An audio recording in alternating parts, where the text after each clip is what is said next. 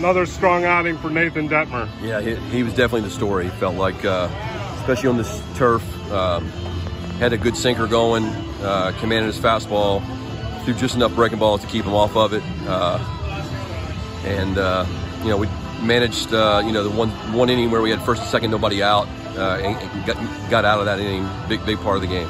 And then I talk about him, how impressive this team continues to be against ranked teams.